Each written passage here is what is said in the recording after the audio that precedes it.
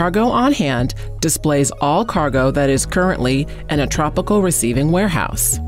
From here, you can see the status and pertinent information about the job or booking, including reference numbers and if a shipper's invoice has been received.